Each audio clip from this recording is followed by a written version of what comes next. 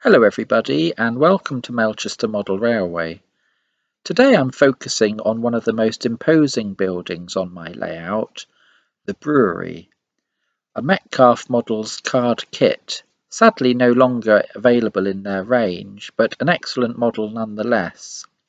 And the most diminutive loco in my collection, the Hornby Ruston 48 DS Shunter and I'll be looking at the privately owned siding just beyond the BR goods shed, where the shunter Queen Anne lives and operates.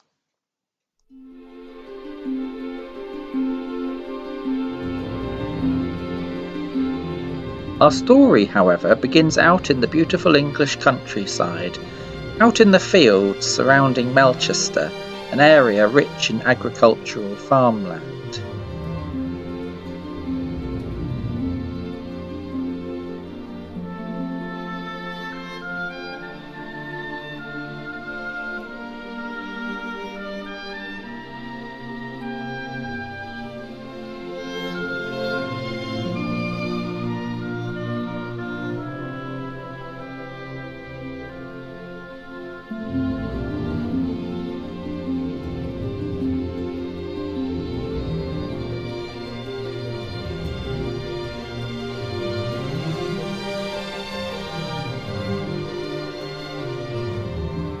It's harvest time, and Farmer Barleymo is harvesting a field of ripened barley, which is destined for the brewery in Melchester.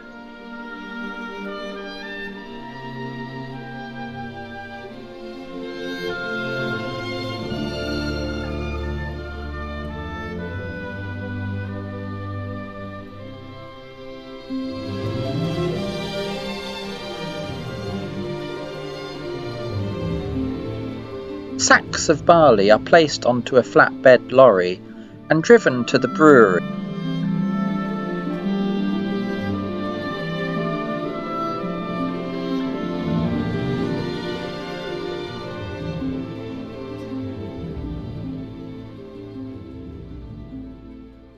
Large-scale commercial brewing took hold during the 19th century with the establishment of mechanical industrial productions. In order to feed this growing industry, large malt houses and purpose-built breweries were created, often close by or with access to the railway. In 1834 the number of commercial breweries producing over 10,000 barrels per year was 134. By the 1850s this had doubled and by the 1870s had trebled. The twentieth century brought decline in the wake of two world wars and depression.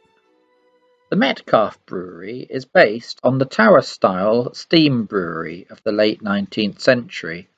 It makes an interesting subject for the modeller as the external buildings are arranged in the form of a vertical tower, often involving elements of architectural whimsy. This tower form allows the multi-stage process to continue by the use of gravity once the bulk materials (water, barley and malt) are raised by steam engine to the top floor. The buildings of a tower brewery are arranged as a tower with five or six floors.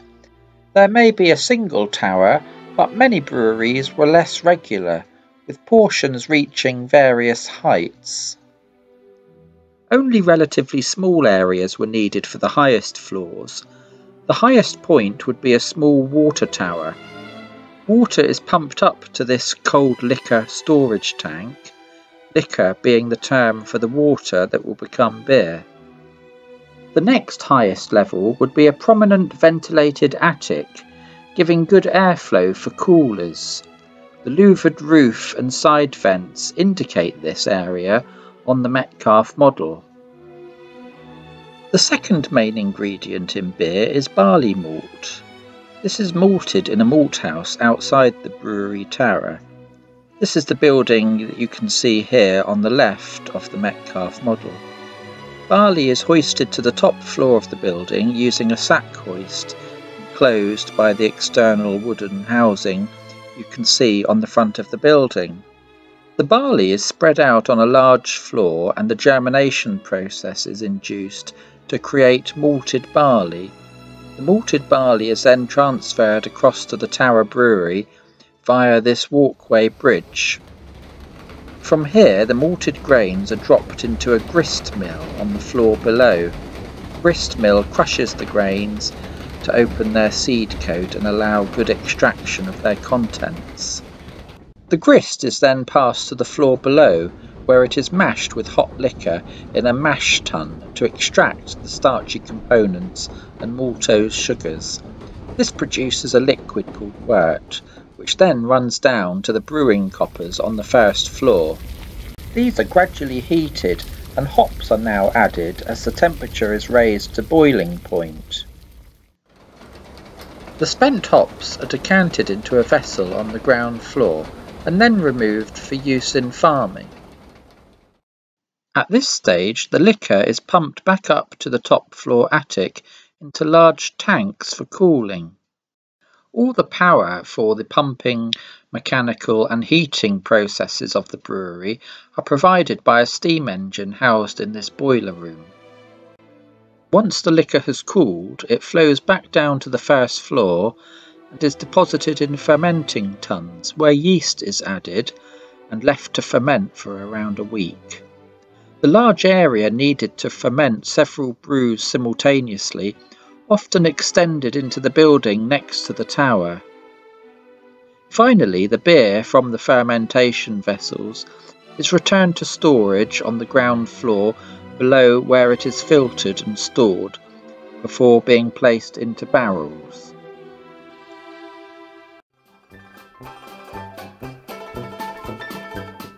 The barrels are then prepared to be dispatched by rail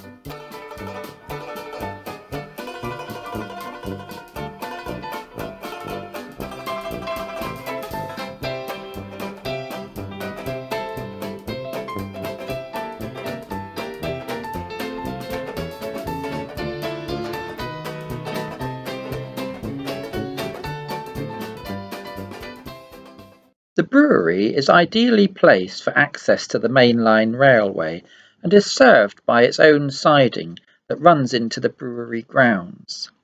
The brewery owns and operates its own small industrial diesel shunter, a Ruston and Hornsby 48 DS named Queen Anne, built in 1948 to a prototype design dating back to 1935. It's an engine that formerly worked at a distillery before coming to the brewery in Melchester.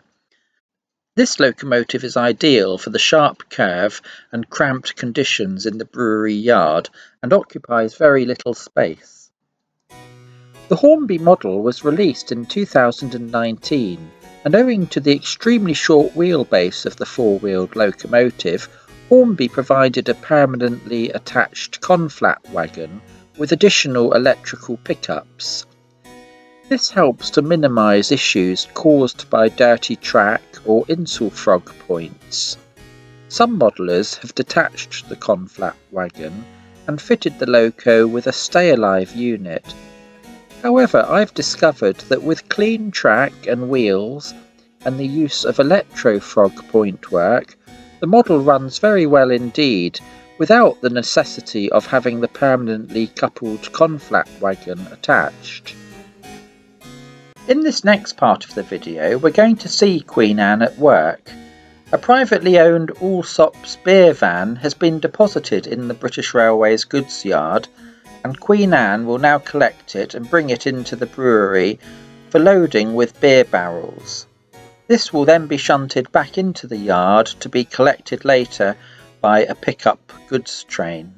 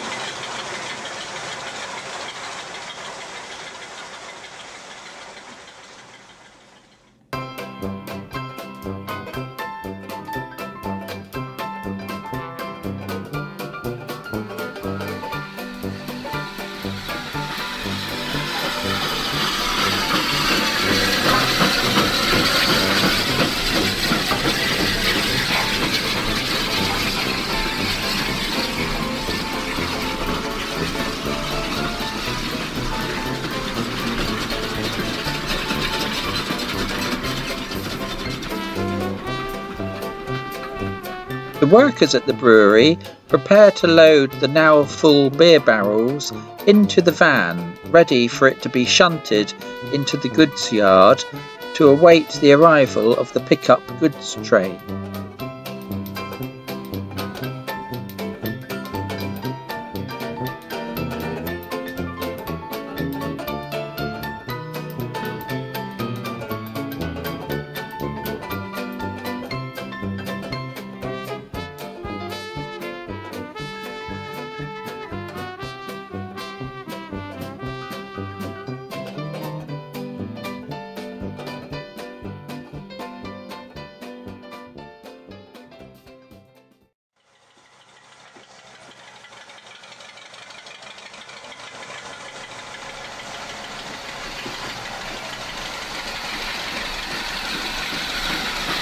Oh look, here comes the goods train on the main line, hauled by a 700 class locomotive.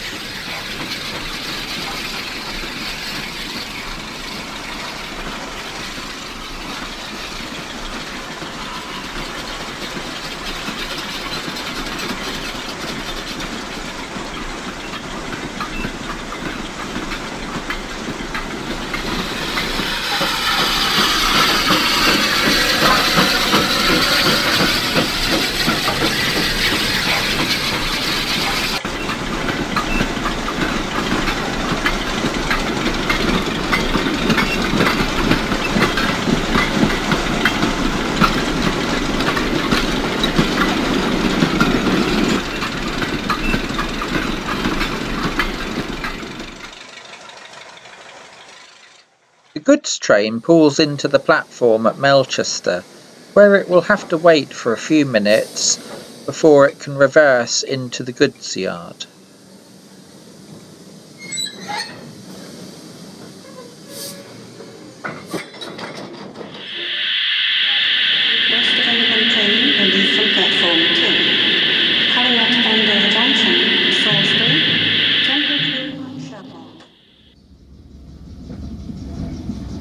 Meanwhile, over in the goods yard, Queen Anne is reversing the loaded beer van onto some wagons already in the goods shed. These will form part of the pickup goods train.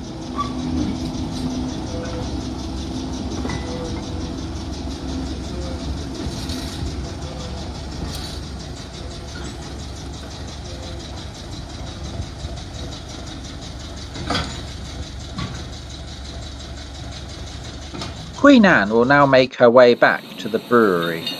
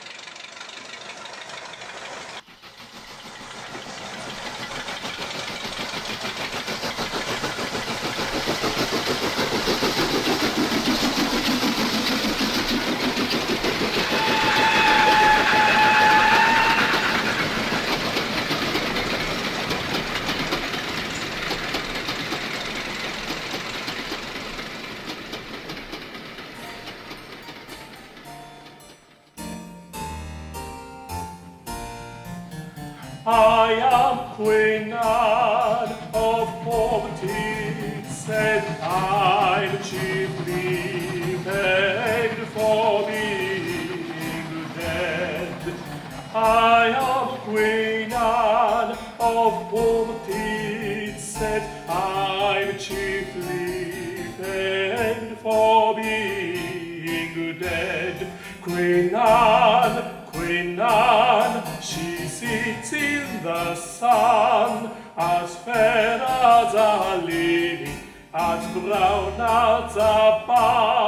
Queen Anne, Queen Anne, she sits in the sun, as fair as a lily, as brown as a.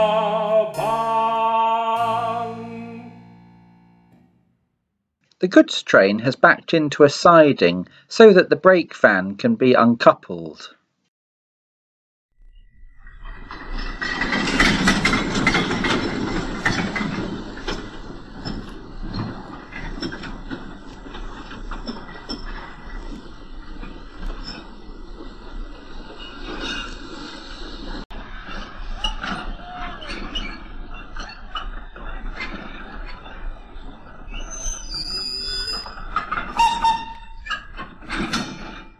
The other vans, including the Allsopp's beer van, are added to the train.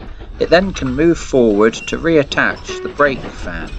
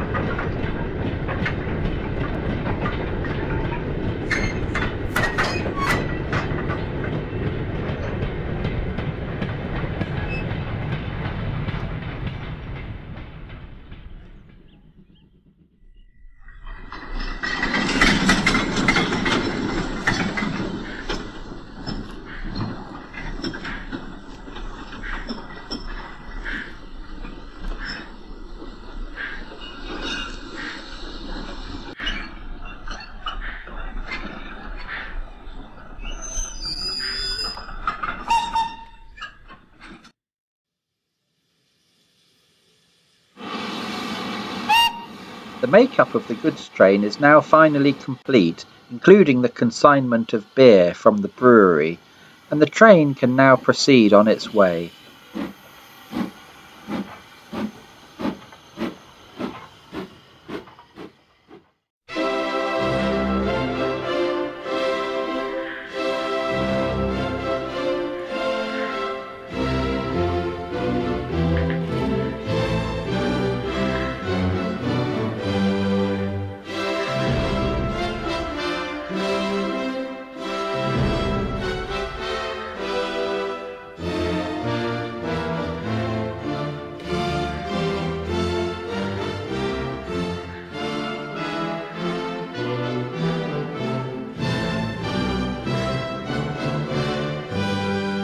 As the sun sets on the ripening fields of barley around Melchester, where our beer journey began, the goods train passes Farmer Barleymo's cottage and gives him a hoot.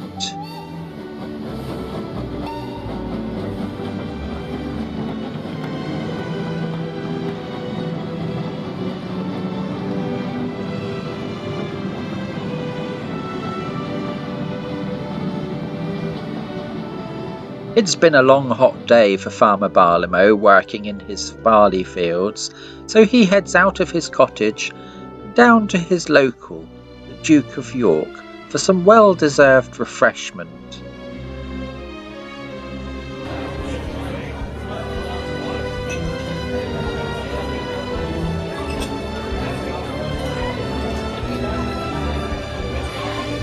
And his choice of beverage a pint of beer produced from his own barley and brewed locally here in the Melchester Brewery.